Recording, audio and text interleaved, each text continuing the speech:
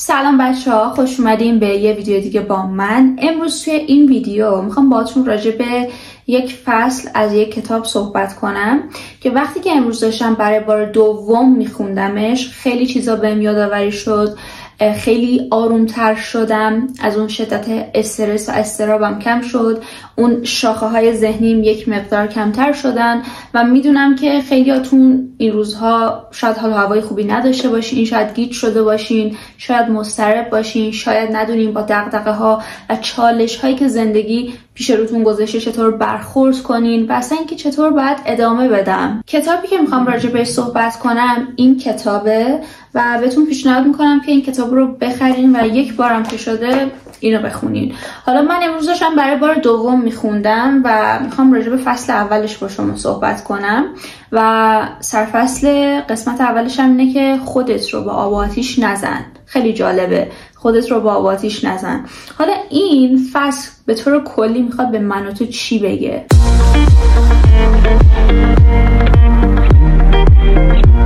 یکی از نکات مهمی که نویسنده توی این فصل از کتاب می‌خواد به من و تو بگه اینه که آگاهانه انتخاب کن. در واقع داریم یک زندگی که الان ما در حال جنگیدن باش هستیم سرشار از دقدقه مشکل و چالشه. و اصلا شما نمی‌تونین زندگی رو بدون این فاکتورها در نظر بگیرین. یا اینکه فکر کنین زندگی خوب مساویه با زندگی بدون چالش بدون دقدقه و مشکله. این بخش جدا نشدنی از این زندگی که ما داریم می‌کنیم نیست خب؟ و برای اینکه بتونیم کیفیت زندگیمون رو ببریم بالاتر ما می‌تونیم بین این همه دغدغه انتخاب کنیم که می‌خوایم به کدوم دغدغه توجه کنیم و بپردازیم. خیلی قشنگه. یعنی که من در طول روز هزار و یک چیز برام دغدغه است خب؟ ولی اینکه من انتخاب کنم به کدومش بپردازم می‌تونه کیفیت زندگی من رو خیلی بالاتر ببره. یه مثال می‌زنم. اینکه من انتخاب کنم که به تمام این دغدغه‌ها بپردازم زندگی من رو می‌تونه داغون کنه.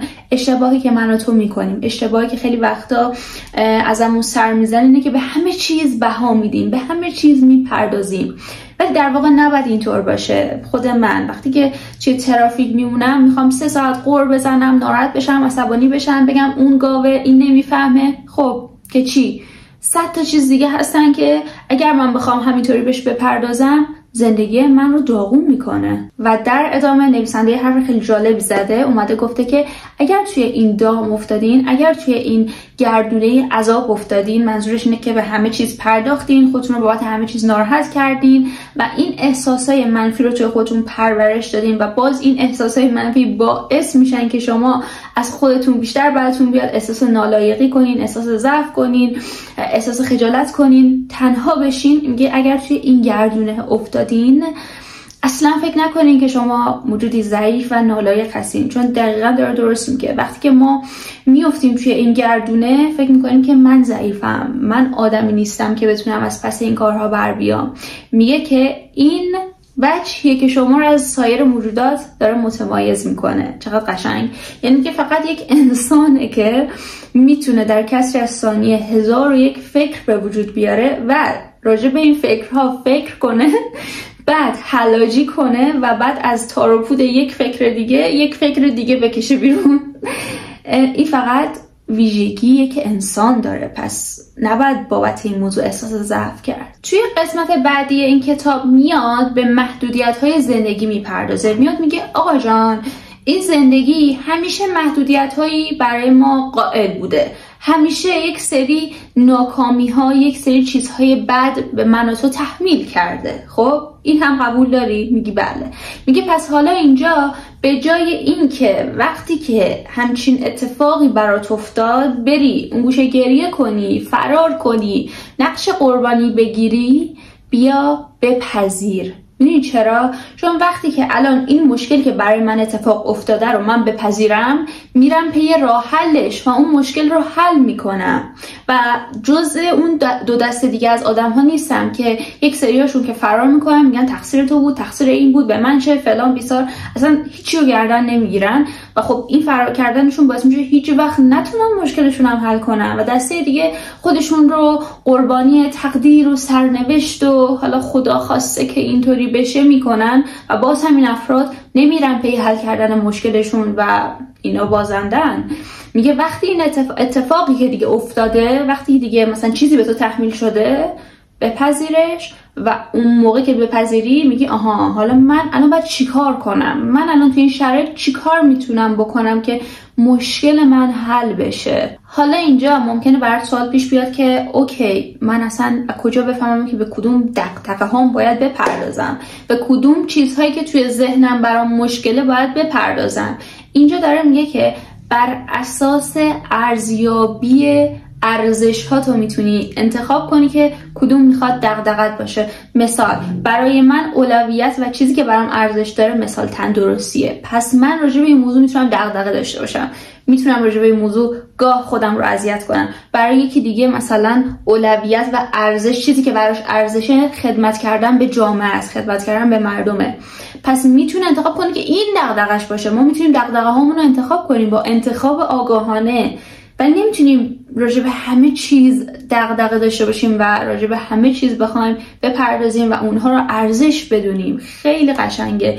یعنی میگه تو الان ارز چیزی که تو ذهنت ارزش هایی که داری اون ارزشی که برای خودت توی دنیای خودت ساختی اینه که خانواده عزیزه مقدس ارزشه خب؟ پس وقتی که راجع به خانواده دغدغه داشته باشی و به اون بپردازی نه تنها بد نیست بلکه می‌تونه کیفیت زندگی تو هم بهتر کنه. توی قسمت های بعدی نویسنده میاد میگه که اوکی من گفتم که بیا به هیچ جاد نگیر اصلا اهمیت نده خب؟ اما منظور من این نیست که تو منفعل بشی عقب نشینی کنی هیچ کار نکنی به هیچ چیز نپردازی بی اهمیت بشی نه. قطعا کسی که اینطوری روان سالمی نداره و ما اصلا نمی‌خوایم بگیم همچین شخصیتی باشین. اینکه حالا من و زندگی هر جا برد برد دیگه. نه همچین چیزی درست نیست. میاد میگه که من منظورم اصلا بی نبود اصلا فکر نکنید دارم میگم بی باش. بی بودن درست نیست. میاد میگه که من میگم با وقایعی که داره برس اتفاق میفته متفاوت برخورد کن که دقیقا منظورش اینه که به همه چیز به اندازه نپرداز. متفاوت برخورد کن و با این متفاوت برخورد کردنت راحت باش و برای اینکه بیاد به من و تو بفهمونه که منظورم از این که به هیچ جات نگیر با بیتفاوتی چیه میاد یک مثال می‌زنه. میاد میگه که وقتی که میام میگم بی خیال غم و غصه منظورم این نیست که به هیچ چیز اهمیت نمیدم بلکه منظورم اینه که توی راه رسیدن به اهدافم سختی ها و اون دشواری ها چه اهمیتی می‌تونن داشته باشن؟ یا اینکه وقتی که من می‌دونم کاری که دارم می‌کنم درسته اصلا مهمه کسی رضایت داشته باشه کسی دلخور بشه. من کار درست و صحیح خودم رو می‌کنم و اینجا تفاوت به هیچ گرفتن و بی تفاوت بودن کامل مشخصه. یعنی در واقع نویسنده داره میگه به هیچ جاتون بگیرین نه اینکه بی اهمیت باشین. و سوالی که ممکن الان تو ذهن شما شکل گرفته باشه و شما ذهنتون رو می‌خونم.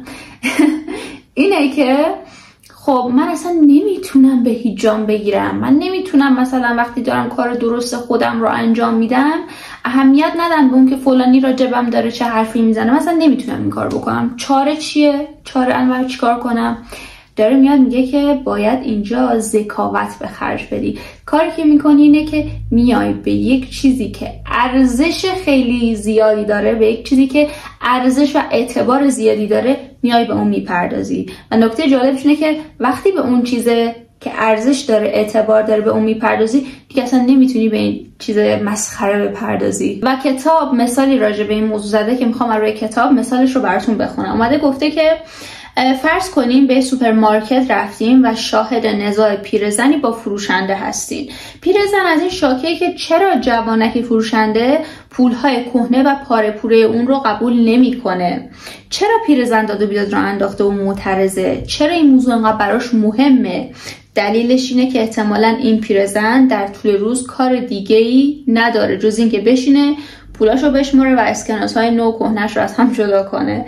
پیرزن تنهاست بچهاش به اون سر نمی‌زنن بیکار حوصلش حسابی سر رفته پس کاری جز جدا کردن اسکناس ها از هم نداره. چون همه چیزی که اون در این دنیا داره اسکناس هاشه پس فقط می‌تونه برای اونها ارزش قائل باشه و چقدر دوباره این قسمتش داره قشنگ میگه. میگه اگه دقدقه های بزرگ داشته باشین اگر چیزهایی داشته باشین که واقعا مهم باشن ارزش و اعتبار زیادی داشته باشن برین به اونها بپردازین و دقدقتون اون باشه. مثلا دقدقت این باشه که پیشرفت کنی توی زندگی شخصیت توی زندگی کاریت. دیگه صد درصد به خیلی از آدم ها و خیلی از چیزها نمی‌پردازی. به خیلی از مسائل خودتو درگیر نمی کنی و نکته آخر اینه که حتی اگر شما در زندگیتون هیچ مشکلی نداشته باشین ذهن شما زحمت این رو می‌کشه که براتون مشکل به وجود بیاره. و سعی کنین که آگاهانه انتخاب کنین.